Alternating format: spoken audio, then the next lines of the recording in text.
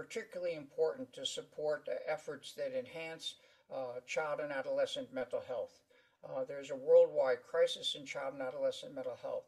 IACAPAP, the International Association for Child and Adolescent Psychiatry and Allied Professions, has supported initiatives for many decades uh, to address these issues. Uh, I hope uh, uh, that people seeing this will contribute to the current challenge grant Uh, that's being offered uh, by IACAPAP.